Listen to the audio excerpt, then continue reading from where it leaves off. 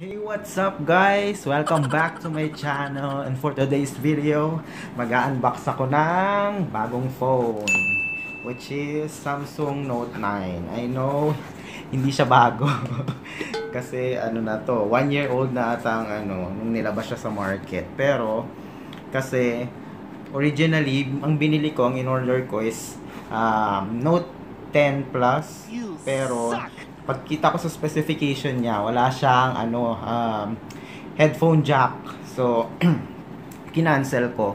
Ito na lang yung binili ko kasi meron akong biniling ganto. So mic Movo mic ito eh meron siyang headphone jack. So kailangan ko ng headphone jack kasi sayang naman kung hindi ko magagamit.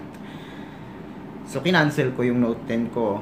Note 10 Plus. So, ito na lang yung binili ko. Note 9. Tapos,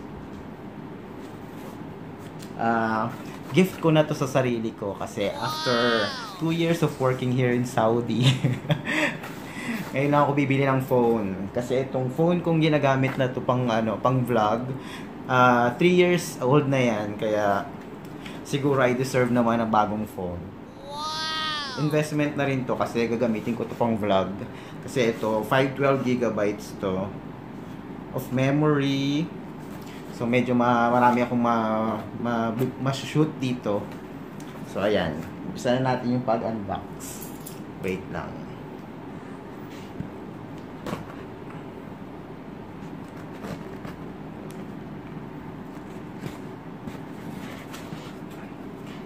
Nga pala, along with this, bumili ako ng Spigen. Spigen Neo Hybrid uh, case for Note 9. Ang binili ko is Midnight Black. Kasi ito naka-sale. Para makatipid. Kasi yung blue, gusto ko sana yung blue. Yung maganda yung pen, yung yellow yung pen. Kaso, ang mahal niya.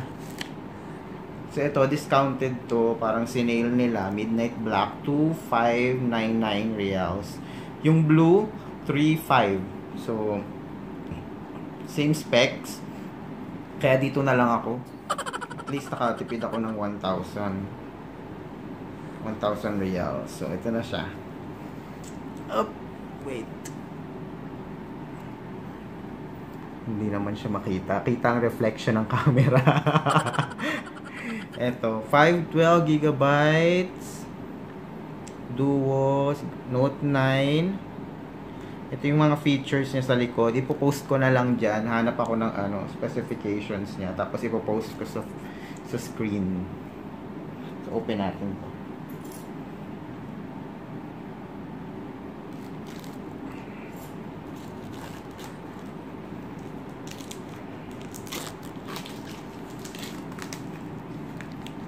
Ay, ito na ang aking ano, gift ko sa sarili ko.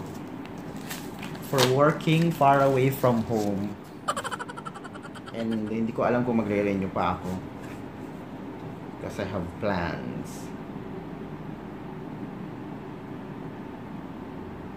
Hmm? Samsung members.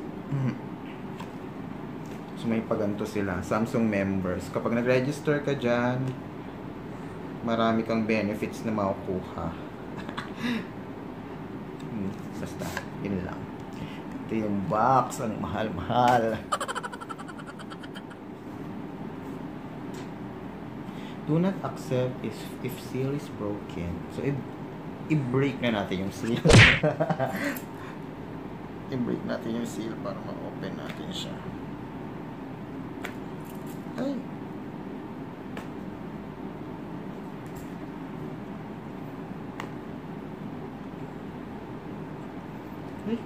ayaw. Ano ba?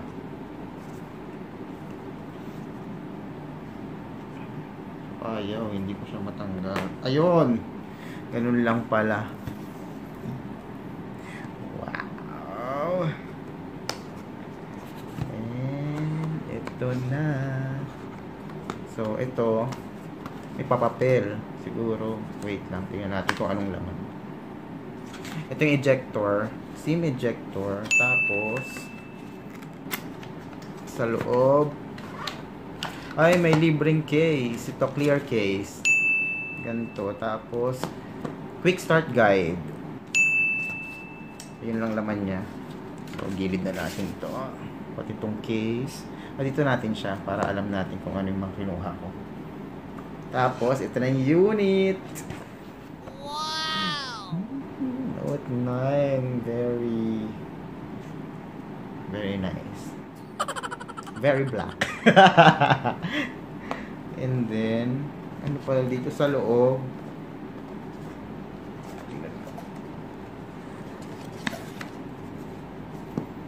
Ito. Ano to? USB-C to USB. Ano to? Tapos, quick charger. Fast charger. Ayun, ito yung headset. Ito yung ito yung cord. Tapos merong ring headset AKG. Tapos ito yung sa S Pen. yung panghila.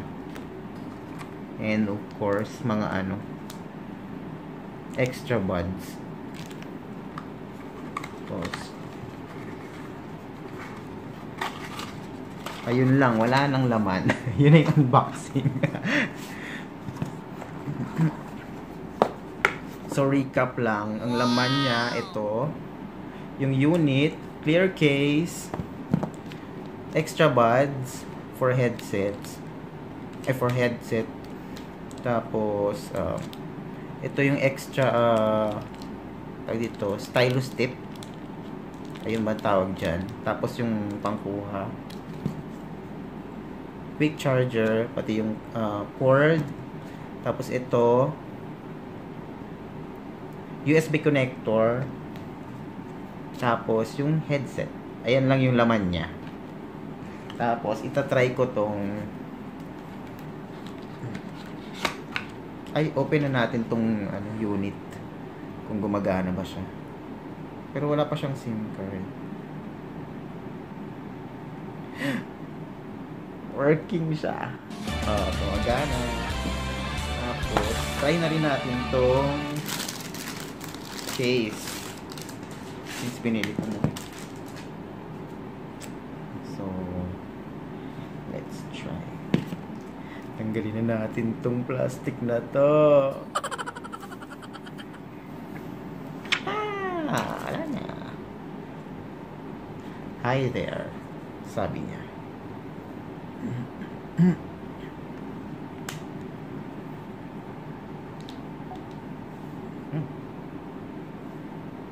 Sabi niya ay English.